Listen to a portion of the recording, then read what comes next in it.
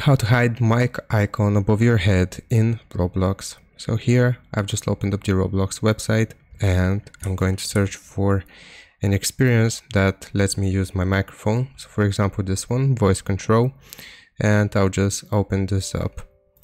So just give it some time for my Roblox to load up here and I'll show you how we can quickly uh, get rid of it. So we want to click on play and it's gonna look like this okay? So it's gonna be above my head. If we want to get rid of it all we need to do is open up the roblox menu by clicking here on the roblox icon or pressing the escape key on our keyboard. And then you will see this little icon. So once we press on it as you can see it's gonna remove the icon of the uh, you know the mic icon as well as the webcam icon above our head in roblox. And that's how you do it. I hope this helps. Leave a like and sub and i'll see you next time